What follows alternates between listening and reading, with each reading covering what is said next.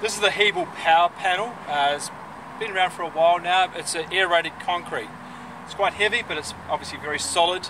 It's great for thermal mass as well, so it doesn't heat up the same as what a concrete block work would. Uh, once it's got an acrylic render on the outside, it's tough. Uh, it looks, it's strong, and it's got a nice. It gives it that concrete look without the expense of the concrete block work.